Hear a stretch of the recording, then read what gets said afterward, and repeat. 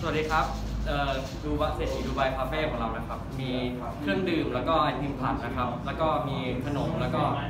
อาหารมากมายนะครับ แล้วมีแมวเป็นแมว exotic นะครับ เป็นสัตว์แปลก แล้วก็มีสิงโตครับ มีหลายสีให้รับชมกันเลยนะครับ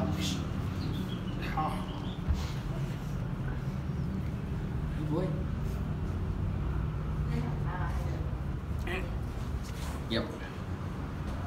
ขอบคุณครั